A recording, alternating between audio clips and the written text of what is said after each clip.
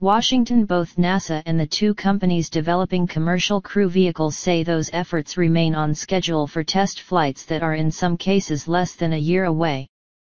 NASA published July 20 what it called the most recent publicly releasable dates of the test flights of Boeing CST-100 Starliner and SpaceX's Crew Dragon vehicles. Each company, under terms of Commercial Crew Transportation Capability, CCAP, contracts awarded in September 2014, are required to first fly an uncrewed test flight of their spacecraft, followed by one with astronauts on board. The latest SpaceX schedule calls for an uncrewed test flight in February 2018, followed by a crewed test flight in June 2018. Boeing's schedule anticipates an uncrewed test flight in June 2018 and a crewed test flight in August 2018. Those scheduled have slipped considerably from the original CCAP announcement.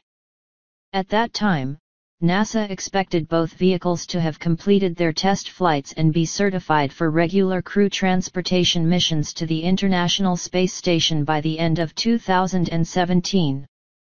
Both companies have suffered technical problems that have pushed back those flights, in some cases by more than a year.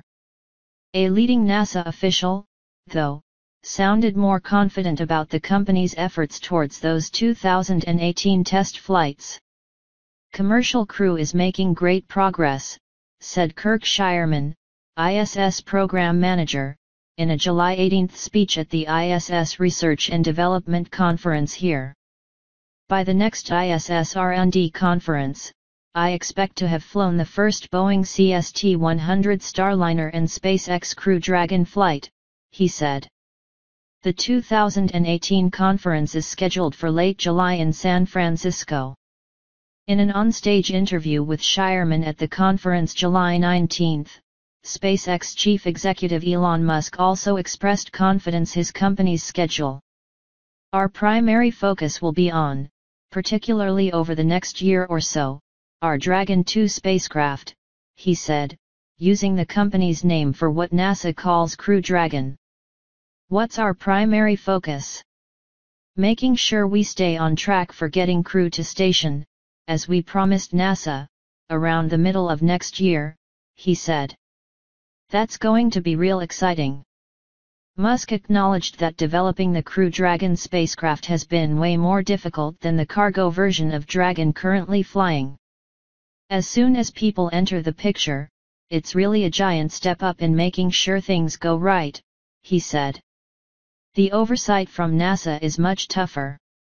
We have some debates going into next year about some of the technical details, he said of SpaceX's relationship with NASA. However, he later described those debates as minor technical bones of contention on unspecified esoteric issues. Boeing is also confident in its ability to maintain its schedule. We are in the middle of a very aggressive test program, said Chris Ferguson, Director of Starliner Crew and Mission Systems at Boeing, during a July 20 panel session at the conference. Prior to the flight tests, he said, is a pad abort test planned for early 2018 at White Sands, New Mexico, as well as ongoing parachute and drop tests. Ferguson, in his presentation, said the flight test program would run from June through December of 2018, followed by NASA's certification, and in an interview earlier in the day said those launches would take place in the latter part of next year. He clarified, though, that the schedule of June and August test flights remains in place. Our schedule hasn't changed from June, he said in the interview. That said, we've got challenges we've got to deal with and we'll let the schedule fall out where it will. Boeing may offer more clarity about that test flight schedule in the near future. Ferguson said that United Launch Alliance, who will launch the CST-100 on Atlas V rockets, requires a non-handshake type of agreement about 12 months before launch. If there's going to be movement, of which there's been nothing planned yet, it's going to have to occur soon just to keep it consistent with what ULA wants, he said. Another upcoming milestone is the selection of a NASA astronaut to fly on the crewed flight test along with a Boeing test pilot.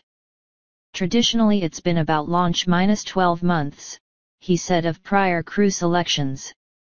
I think what they would like to do is have some schedule assurance before they go ahead and assign crews. Once they feel comfortable that they're about 12 months out from a crewed flight launch, I think you can see an assignment come out. Ferguson said the first operational, or post-certification mission, PCM, for the CST-100 could fly as soon as next December, but that schedule is dependent on both the vehicle's development as well as ISS needs. I think the next crewed mission to be assigned would launch in May of 2019, he said. We're keeping a close eye on that. NASA has a void they'd like to fill there.